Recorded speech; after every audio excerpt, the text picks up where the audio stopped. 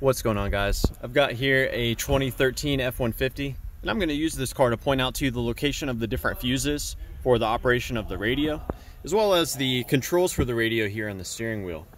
So all of those fuses can be found in the body control module which is here on the passenger side floorboard. And your Ford may or may not use all of these fuses that I'm going to show you. It just depends on your level of trim and your radio options. So we're going to pull this cover out like here set it aside, and then we remove this cover by squeezing it and pulling straight back. Now the first fuse I'm going to show you is a 15 amp fuse.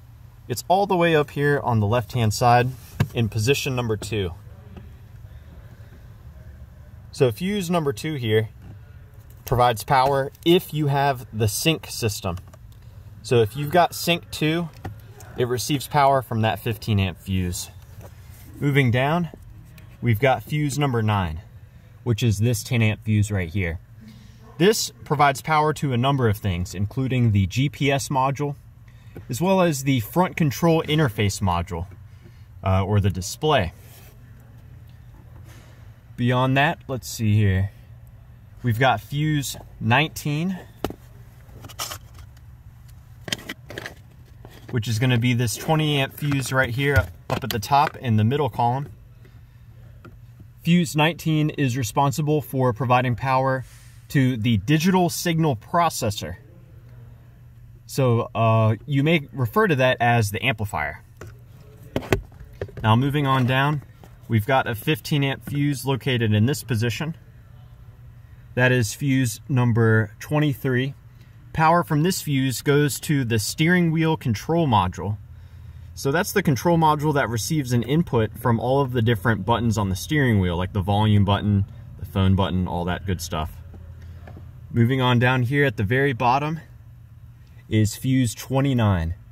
This 20 amp fuse provides power to the audio control module, or what you may refer to as the head unit.